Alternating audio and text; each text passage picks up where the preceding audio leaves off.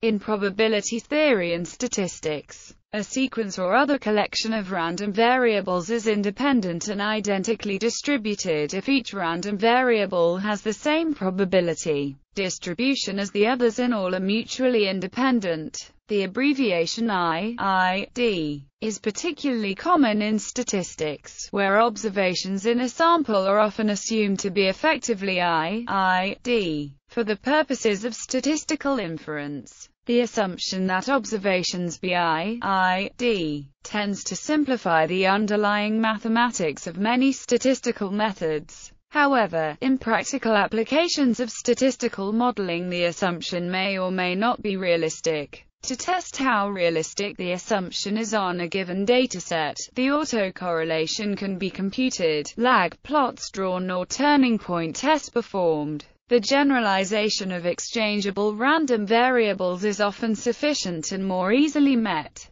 The assumption is important in the classical form of the central limit theorem, which states that the probability distribution of the sum of i, i, d variables with finite variance approaches a normal distribution. Note that IID refers to sequences of random variables. Independent and identically distributed implies an element in the sequence is independent of the random variables that came before it. In this way, an IID sequence is different from a Markov sequence, where the probability distribution for the nth random variable is a function of the previous random variable in the sequence and IID sequence does not imply the probabilities for all elements of the sample space or event space must be the same. For example, repeated throws of loaded dice will produce a sequence that is IID, despite the outcomes being biased.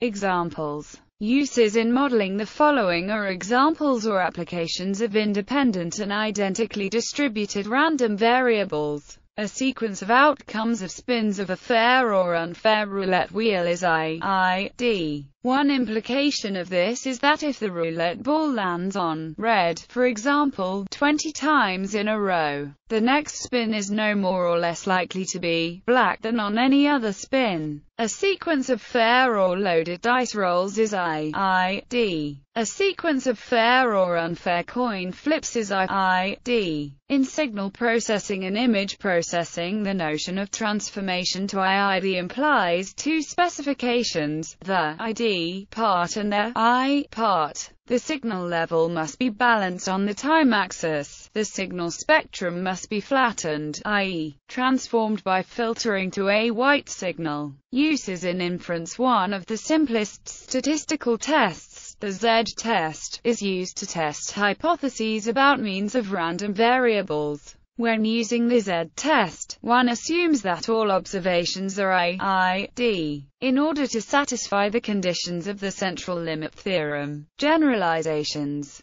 Many results that were first proven under the assumption that the random variables are i, i, d, have been shown to be true even under a weaker distributional assumption. Exchangeable random variables The most general notion which shares the main properties of i, i, d, variables are exchangeable random variables, introduced by Bruno de Finetti. Exchangeability means that while variables may not be independent, future ones behave like past ones. Formally, any value of a finite sequence is as likely as any permutation of those values. The joint probability distribution is invariant under the symmetric group. This provides a useful generalization. For example, sampling without replacement is not independent but is exchangeable, and is widely used in Bayesian statistics. LE-acute VY process in stochastic calculus, I, I, D. Variables are thought of as a discrete time LE-acute VY process. Each variable gives how much one changes from one time to another. For example, a sequence of Bernoulli trials is interpreted as the Bernoulli process.